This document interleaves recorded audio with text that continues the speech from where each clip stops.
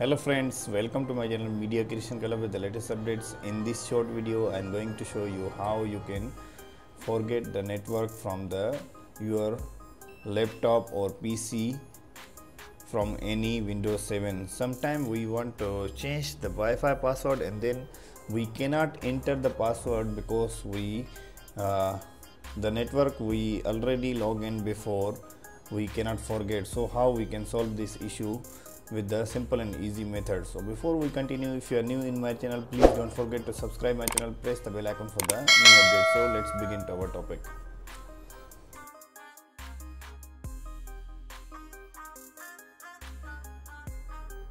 Okay friends so first of all you can see here the networks i joined before. This one actually i already uh, saved the password but I already changed the password so now I cannot log in this network. You can see here the troubleshoot.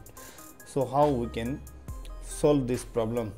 You can see here troubleshoot problem. We cannot troubleshoot so we just cancel this one and then right click on the network and then open network and sharing center. So we click the open network and sharing center and then you can see here on the top manage wireless networks. So we click the manage wireless networks. And then we select the network we want to remove from the computer. So you can see here automatically connect and then that one. So so we select the network. And then you can see here the remove. So we click the remove and then click yes.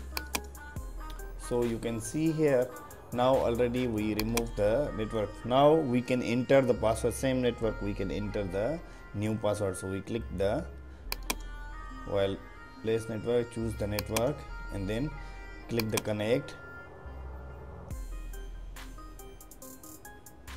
Now you can see we can enter easily password. Then click ok so that is the simple and easy method that you can forget the network and then re-enter the Wi-Fi password on the Windows 7. So hope this video is going to helpful for you. If you like this video, don't forget to thumbs up, please subscribe my channel, press the bell icon for the new updates. Thank you.